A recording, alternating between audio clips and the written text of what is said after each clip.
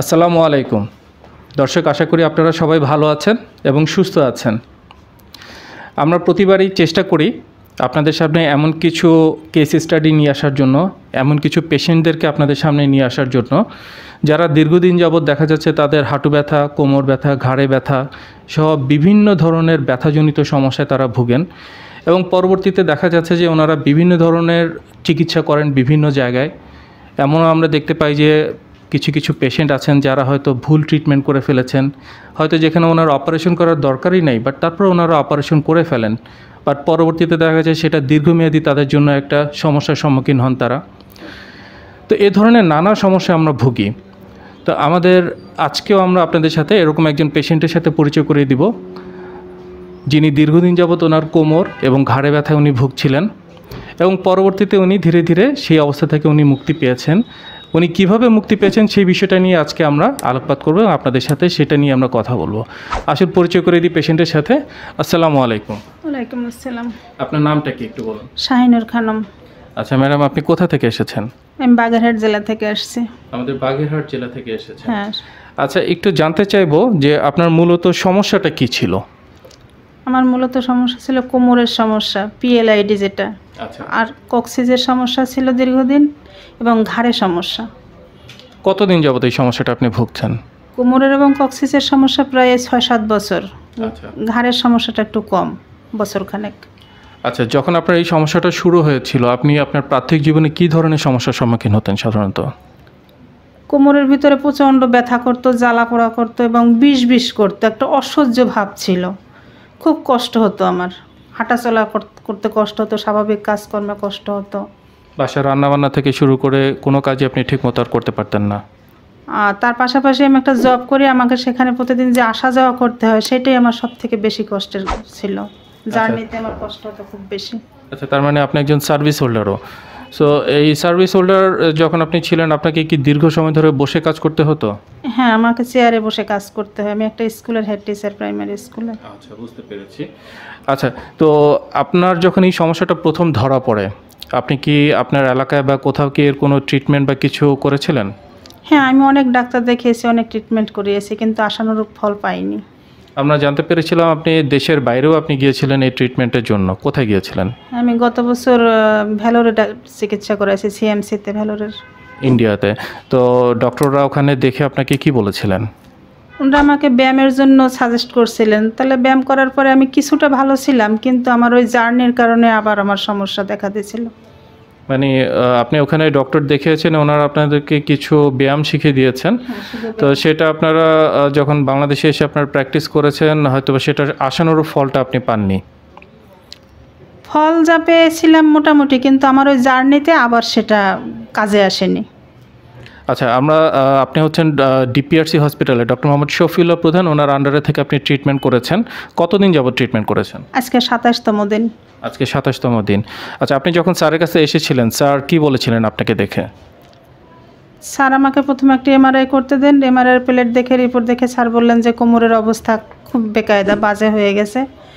দীর্ঘমেয়াদী চিকিৎসা নিতে হবে। তারপরে স্যারের আমি আন্ডারে ভর্তি ছিলাম এই সাতাশ দিন। চিকিৎসা নেওয়ার পরে এখন আমার কাছে আগের থেকে ভালো লাগতেছে। তার মানে আপনি সাতাশ দিন আপনি ভর্তি থাকার পরে এখন আপনি আগের থেকে অনেকটুকু ভালো এবং অনেক সুস্থ বোধ করছেন। আপনার যে আগের যে কোমরে যে ব্যথা ছিল বা ঘাড়ের ব্যথা ছিল সেটা কি অনেকাংশে এখন কমে গেছে? হ্যাঁ অনেকটা কমে গেছে বলা যায়। আপনি কি আপনার স্বাভাবিক কাজগুলো আগের মতো করতে পারছেন?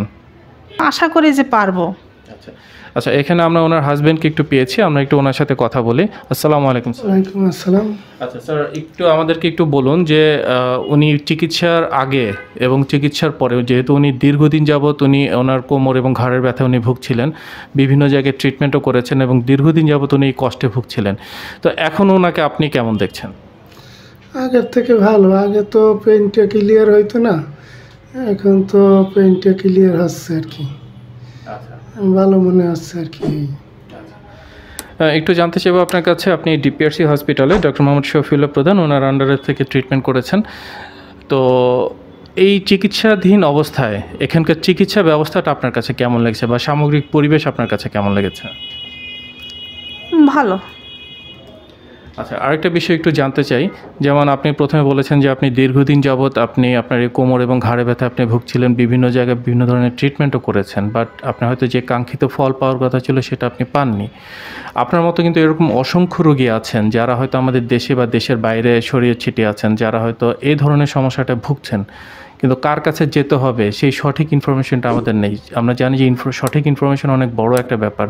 একটা মানুষের জীবন রক্ষা করতে পারে একটা সঠিক ইনফরমেশন তো আমাদের সেই সকল ভাই বোনদের উদ্দেশ্যে কি কিছু বলবেন? রোগ যেহেতু মানুষের শরীরে অনেক কষ্টের একটা জিনিস, এজন্য সঠিকভাবে যদি আমরা চিকিৎসাটা নিতে পারি, তাহলে হয়তো আমাদের সেই কষ্টটা থেকে আমরা একটু তাড়াতাড়ি মুক্তি পেতে পারি। এজন্য বলব, যাদের এরকম বাত ব্যথা দীর্ঘমেয়াদী ব্যথা তারা এখানে এসে চিকিৎসা নিলে ইনশাল্লাহ ভালো হবেন। এটা আপনি বিশ্বাস করেন? হ্যাঁ আমি আমার শরীর থেকে অনুমান করছি। যেহেতু আপনি এসে এখানে ভালো একটা ট্রিটমেন্ট পেয়েছেন আপনি সুস্থ হয়েছেন এই জন্য আপনিও আশা করেন তারা আসলে তারা অবশ্যই একটা ভালো একটা ট্রিটমেন্ট পাবেন। হয়তোবা। আচ্ছা সবশেষে জানতে চাইব এই ডিপিআরসি হসপিটাল থেকে আপনি যে সেবা পেয়েছেন এই সেবার মানকে একশোতে কত দেবেন আপনি? নব্বই। নব্বই ধন্যবাদ আপনাদেরকে, আপনাদের মূল্যবান সময় এবং মতামত দিয়ে আমাদেরকে সহযোগিতা করার জন্য। দর্শক, আপনাদেরকে অসংখ্য ধন্যবাদ। আপনারা এতক্ষণ মনোযোগ দিয়ে ওনার কথাগুলো শুনলেন, যে উনি কীভাবে ধীরে ধীরে উনি বিভিন্ন জায়গায় উনি ট্রিটমেন্ট করেছেন।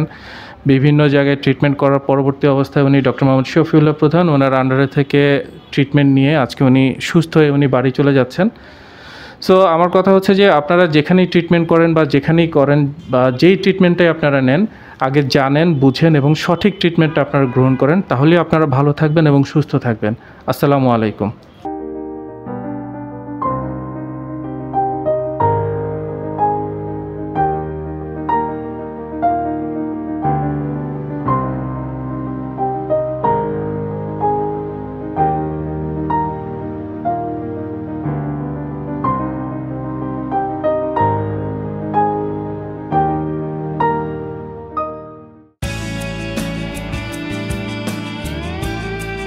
আমরা জানি আপনার প্রিয়জন আপনার জন্য কতটা গুরুত্ব বহন করে। আর তাই সঠিক ডায়াগনস্টিক রিপোর্টের জন্য আপনারা আমাদের কাছেই আসে আমরা বিশ্বাস করি প্রপার ডায়াগনোসিস কনসালটেশন পেইন ও প্যারালাইসিস চিকিৎসা, পুনর্বাসন আমাদের সব আয়োজনই সব সময় আপনাদের জন্য চব্বিশ ঘণ্টা খোলা।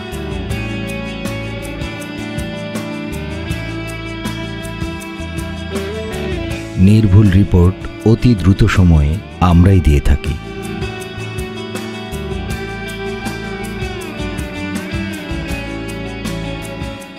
আমরা চাই না আপনারা বারবার আমাদের কাছে ফিরে আসুন তবুও আমরা আছি সব সময় সর্বদা আপনাদের পাশেই।